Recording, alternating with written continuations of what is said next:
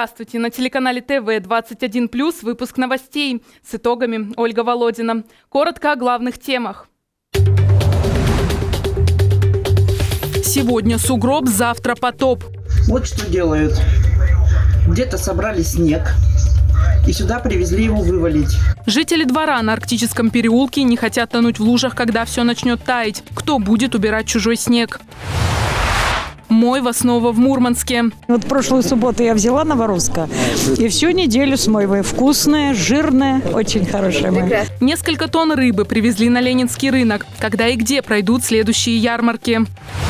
Взять ипотеку и без какой-то господдержки это было бы очень тяжело, так как я с детьми, а муж там работает, но все равно это ну, нереально. Молодым и многодетным семьям вручили свидетельство на приобретение и строительство жилья. Весь свет культуры в одном театре.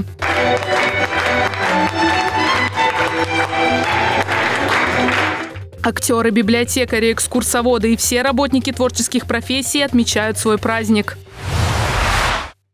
Правительство Мурманской области продолжает принимать оперативные меры по обеспечению продовольственной безопасности региона. Совместно с муниципалитетами усилен мониторинг за ценами на ключевые товары и их запасами. Разрабатываются механизмы поддержки сельского хозяйства.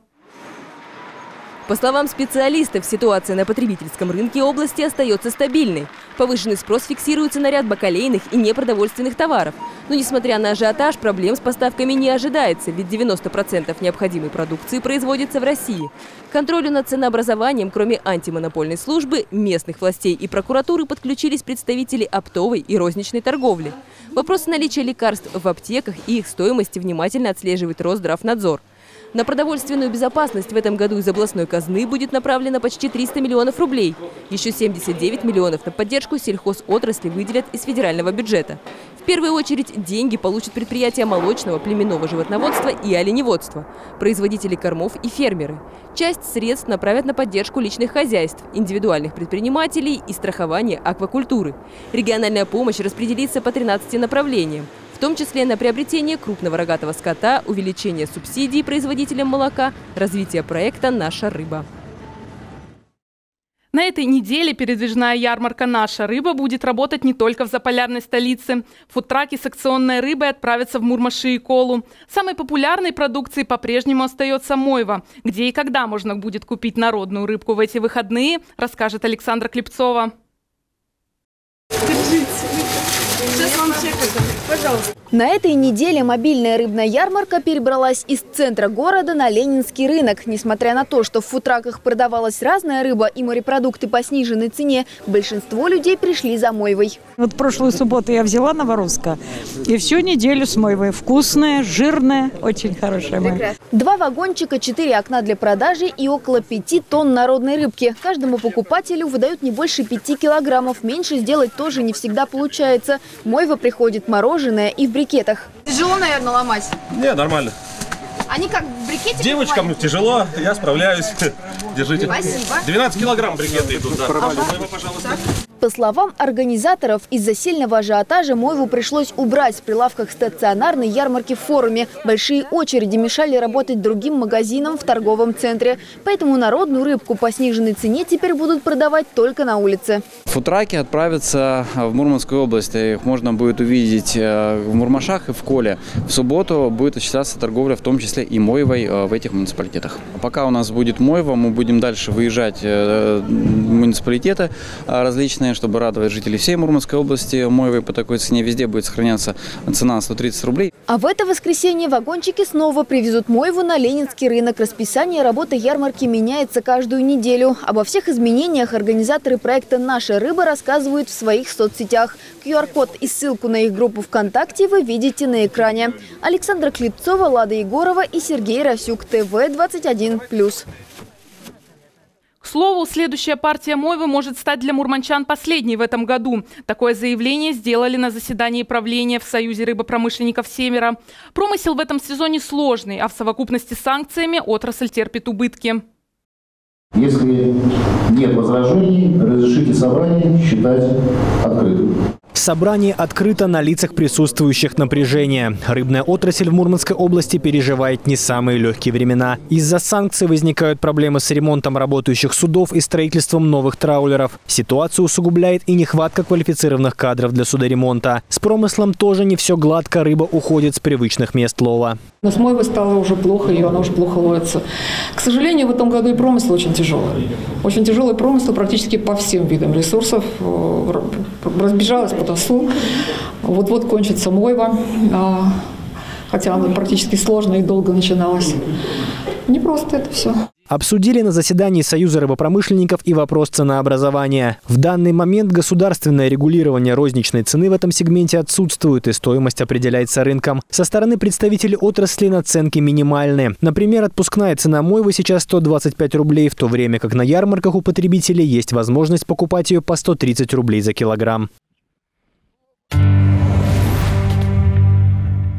Куча снега с полтора человеческих роста появилась во дворе дома номер 6 на Арктическом переулке в Мурманске. По словам жителей, туда стали свозить снег с соседних площадок. Люди переживают, что скоро этот большой сугроб растает, и их дом станет затапливать. В ситуации разбиралась Лада Егорова. Вот что делают. Где-то собрали снег, и сюда привезли его вывалить. Это видео мурманчанка Карина Усманова сняла несколько дней назад. Ее и так засыпанный снегом двор стали свозить кучи с окрестных площадок. Со снежными горами жители шестого дома борются каждый год. По их словам, такие сугробы в полтора, а то и два человеческих роста отсюда никто обычно не вывозит. Каждую весну, вот сейчас начнет снег таять, туда накапливается вода, что у меня один раз тут вообще вызывали все аварийные службы, они тут откачивали из колодца, потому что у меня прям уже поднималось наверх. Ну, в этом году, я думаю, так же будет. Само по себе уже изношенное здание из-за ежегодных подтоплений разрушается быстрее. Фундамент вымывается и проседает. В квартирах на первых этажах весной всегда сыро. Дома полы провалены аж вот на столько сантиметров. Это вот я сейчас этой зимой э, вызывала людей за свои деньги, естественно. И вот этот пол мне, вот это полностью снимали, поднимали вот это вот все, заливали.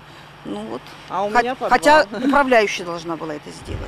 За старое здание управляющие компании браться не хотят, поэтому городская администрация выбирает их по конкурсу.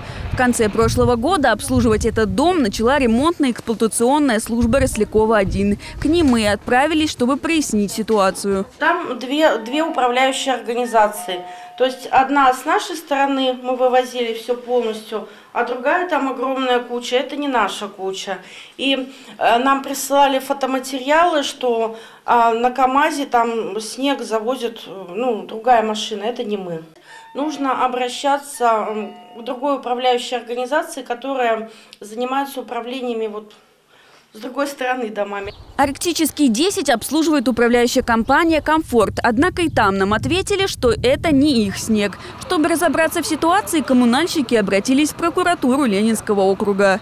По данному факту проводится прокурорская проверка э, был совершен э, прокуратурой округа выезд на место. Мы посмотрели, э, как обстоят дела, между какими домами была навалена куча снега. Направлены запросы в управление округа, также в отдел полиции и в управляющей компании о предоставлении имеющейся какой-либо информации по данному факту. Помочь прокуратуре могут и жильцы ближайших домов. Если у вас есть какая-либо информация об этой истории, фото или видеоматериалы, вы можете обратиться по номеру 410378 или написать на электронную почту, которую видите на экране. Лада Егорова, Павел Третьяков, ТВ 21+. А в пятиэтажках на Абрамысе начали делать капитальный ремонт. Сейчас работы ведутся в трех домах на Охотничьем переулке. Подрядчики перекладывают кровлю и меняют инженерные системы. Подробнее расскажем дальше. Делать надо все. Крыша текет. Все это делать надо. Это уже какой год они все обещают. Жильцы 23-го дома на Охотничьем переулке в микрорайоне Абрамыс дождались капитального ремонта. Сейчас в здании одновременно ведутся работы по обновлению кровли и инженерных систем. Вот видите, вот трубопровод, вот в таком состоянии он был раньше. Вот. И вот когда э, вот эта труба до колодца поменяется, вот это вот все э, уберется, высох, высохнет, и управляющая организация сможет эту канализацию все убрать, и здесь будет чисто сухо. На замену сетей подрядчику выделили 3,5 миллиона рублей. Специалисты уже заменили розливы в подвальном помещении. Сейчас идет замена стояков в квартирах. Ну что сделано? Заменили ро- ро- розлив полностью, ввод поменяли, поменяли вводную задвижку, водомерный узел полностью заменили. Заменили всю канализацию по подвалу. В квартиры, в которые есть допуск, которые люди пустили, и заменили стояк холодной воды, так же самое, и допуск, стояк канализации. А Получается, что 80% уже готовности по внутридомовым инженерным сетям есть. А, То есть осталось а, выкопать а, землю, а, убрать старый трубопровод до канализационных колодцев и проложить новый трубопровод, закопать, сделать трамбовку и а, сделать планировку земли. На Охотничьем переулке сейчас капитальный ремонт ведут еще в двух домах – 17 и 25 -м. Всего в области в этом году обновят больше 400 зданий. Контракты на работы в большинстве из них уже заключены. Всеволод Краснов, Лада Егорова, Кирилл Веприков, Сергей Расюк, ТВ-21+.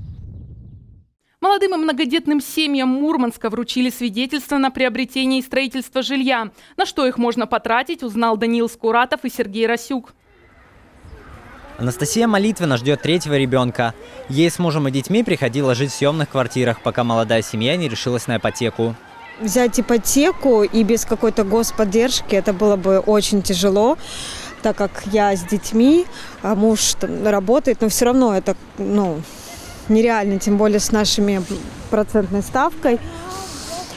А, Мы решили попробовать принять участие в программе «Молодая семья». Молитвины собрали необходимые документы после ожидания в очереди. И, наконец, спустя три года их ипотека может быть погашена при помощи бюджетных средств. Программа обеспечения жильем молодых и многодетных семей в Мурманске функционирует уже 16 лет. За это время более полутора тысяч семей улучшили жилищные условия. Скажем так, те мероприятия, которые связаны непосредственно с улучшением жилищных условий граждан и мерам социальной поддержки, они у нас являются наиболее значимыми, приоритетными, а главное результативными, то есть люди сразу видят э, результат. В этом году правительство выделило почти 80 миллионов рублей на улучшение жилищных условий 95 молодых семей в Мурманске. К слову, в апреле состоится вручение свидетельств 50 молодым и 15 многодетным семьям. Таким образом, в 2022 году сертификаты на улучшение жилищных условий получат уже 107 семей. Данил Скуратов, Сергей Расюк, ТВ-21+.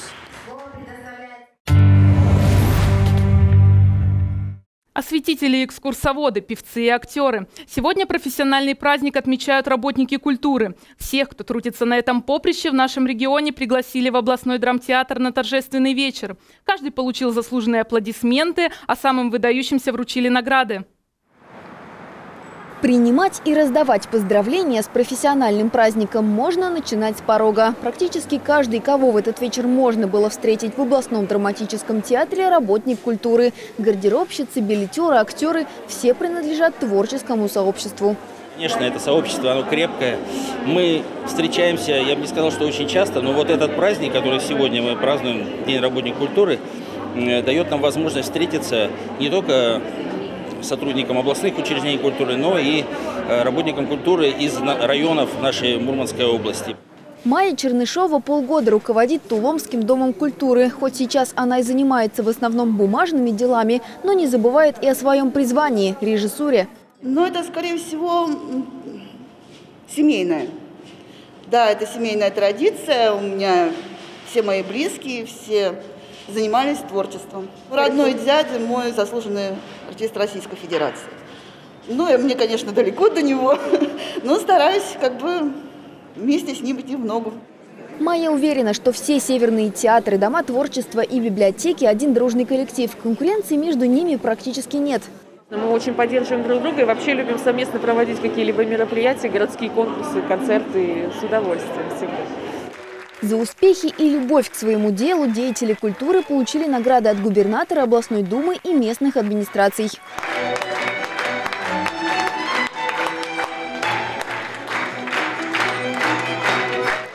На сцену драмтеатра вышли кукловоды, художники, архитекторы и музыканты. В самые непростые времена всегда работники культуры, они, знаете, на передовой. Это вопрос не только досуга северян, это вопрос воспитания и прививки тех ценностей, которые очень необходимы сегодняшнее, вот в сегодняшнее время нашему обществу. Завершился вечер спектаклем. Гостей пригласили на премьеру пьесы Лермонтова «Маскарад». Я давно уж не был с вами. Делами занят. Любовью. Александра Клепцова, Николай Лукинов, ТВ-21+. Принимали поздравления с профессиональным праздником и сотрудники ДК «Судоремонтник». Уже больше 40 лет он остается центром притяжения для жителей Рослякова. Песни, танцы, рукоделие и, главное, хорошее настроение. Здесь найдется занятие на любой вкус для взрослых и ребятни.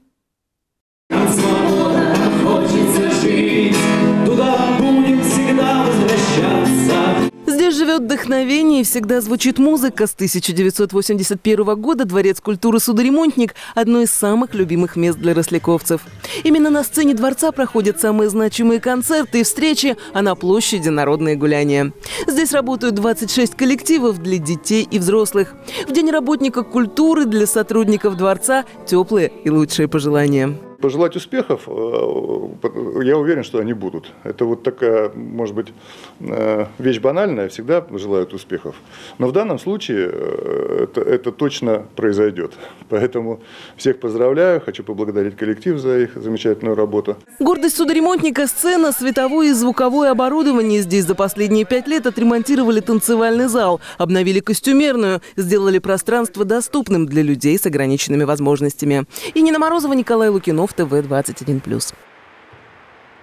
Эти и другие новости доступны на нашем сайте www.tv21.ru и на нашем YouTube-канале. Телефон редакции для ваших новостей 400 870. Не забывайте про Viber и WhatsApp и подписывайтесь на наш телеграм-канал. Далее вас ждет прогноз погоды.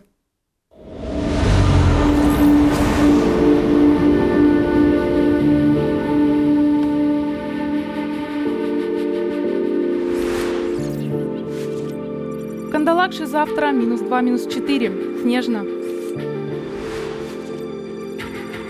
Гумби до минус 4. Осадки. В полярных зорях минус 3, минус 5. Осадки. В апатитах до минус 4. Снег. Кировский минус 2, минус 4. Снежно. Ковдоре минус 3, минус 5. Осадки. В Мончегорске до минус 4. Снег. В Лавозере минус 2, минус 4. Осадки. В Оленегорске до минус 3. Снег. В Никеле минус 3, минус 5. Осадки. В Заполярном до минус 5, снежно. Североморский минус 4, минус 6, осадки. В Мурманске до минус 6, снег.